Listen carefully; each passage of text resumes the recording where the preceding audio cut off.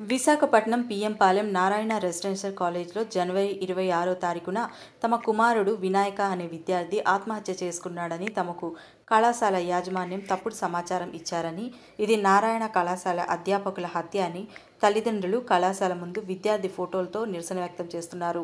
తమ కుమారుడు ఆత్మహత్య చేసుకునే అంత పిరికివాడు కాదని చనిపోయిన నలభై ఐదు నిమిషాల వరకు తమకు తెలియజేయలేదని ఆరోగ్యం బాగోకపోతే సమీపంలో ఉన్న హాస్పిటల్కి చూపించాలి కానీ ఎక్కడో దూరంగా ఉన్న హాస్పిటల్కు తీసుకువెళ్ళి వారికి అనుకూలంగా విద్యార్థి మరణాన్ని మలుచుకున్నారని ఆరోపించారు.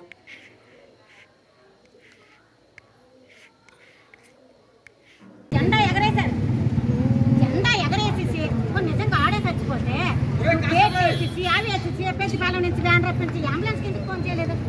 అంబులెన్స్ కూడా చేయలేదు ఒక డాక్టర్ పెళ్ళదు ఈడే చచ్చిపోయాడు డెబ్బై డిసైడ్ అయిపోయి ముప్పావు గంట వదిలేసి కామ్గా గాయత్రి హాస్పిటల్?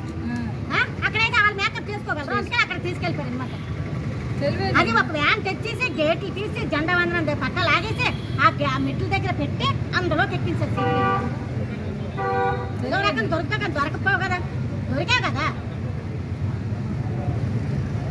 ఒక డాక్టర్ని పిలిచి ఆడు చెప్తే అప్పుడు నువ్వు చెప్పాలి డాక్టర్ని కూడా పిల్లదమ్మా మన మరి మానవత్వం ఎంత చచ్చిపోయిందో చూడు. అది మరి మనుషులో పశువులో నాకు అసలు అర్థం అవలే మృగాలకైనా ఉంటుందేమో కానీ వీళ్ళకి లేదమ్మా.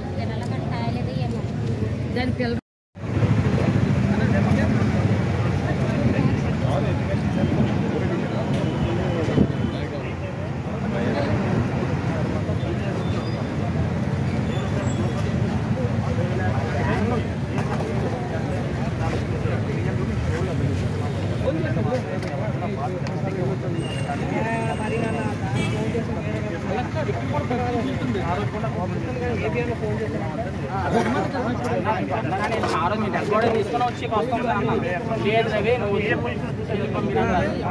వెళ్ళిపోమన్నారు నేను మాట గౌరవించి మేము వెళ్ళిపోయాం ఈ రోజు మేము సార్ అడగాలి మాకు డౌట్స్ ఉన్నాయి సార్. ఆడ హ్యాంగ్ చేసుకుని ఆడుతున్నారు నాకు ఫోటో ఏంటి నా ఫోటో ఏంటి